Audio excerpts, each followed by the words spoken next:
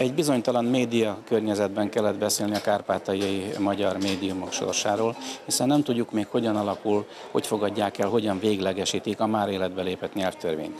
Ez nagyon nagy kihatással lesz mind az írott sajtóra, mind az elektronikus sajtóra.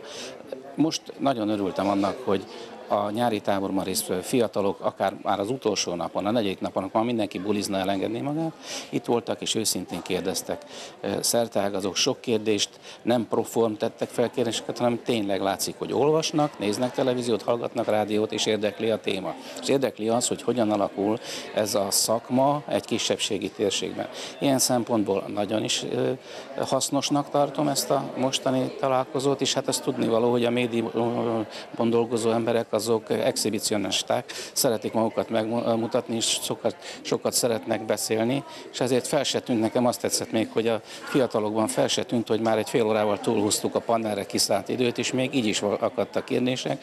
Tehát gondolom, hogy őszinte ez az érdeklődés, és hogy azok közül, akik a nézők között ültek, akadnak majd jövendőbeli újságírók is, akikkel találkozunk esetleg a televízióban, hallhatjuk őket a rádióban, vagy olvashatunk tőlük valamit az újságokban, vagy az interneten. Nagyon nehéz megmondani, hogy mi vár a...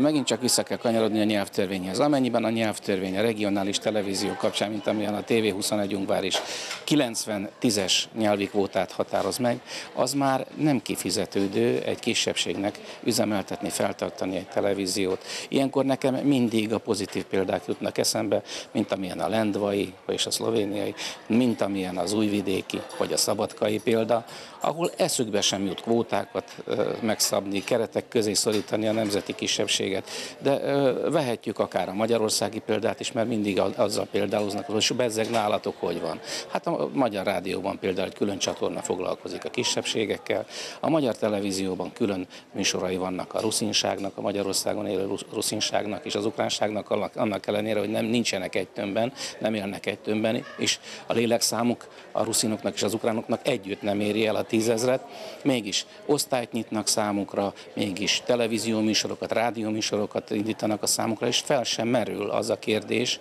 hogy ez nem jár. Egy Európai Uniós országba, vagy egy oda irányuló országnak ez evidens kell, hogy legyen és ettől függ ugye, hogy hogyan oldódik meg ez a kérdés, a TV21 Ungvár sorsa is. A Kárpátalja pont már egy 8 éve alakult sajtóorgánum, már a kezdetektől az volt a célunk, hogy egy objektív, a helyi politikai széljárásoktól független, a keresztény értékrendeken alapuló portát hozzunk létre. Kezdetben egy négy főszerkesztőséggel dolgoztunk, már a, a magyar kormány támogatásának köszönhetően 2012-ben lehetőségünk nyílt egy médiaképzés megvalósítására, és egy tudósítói hálózat hálózat kibővítésére, és úgy gondolom, hogy már a kárpátaljai médiatér egyik meghatározó médiumává alakultunk. Nagyon fontos az, hogy mindig napra készen, minél korábban, minél gyorsabban hozzuk le a híreinket. Emellett hétvégente próbálunk magazin jelleget ölteni és sorozatokkal színesíteni a honlapunkat. Emellett 2015-től ukrán rovatot is működtetünk azért, hogy a kárpátai magyarságra vonatkozó híreket a mi szemszögünkből is lát, látassuk a többségi nemzet felé. 2018-tól angol nyelvű rovatot is működtetünk.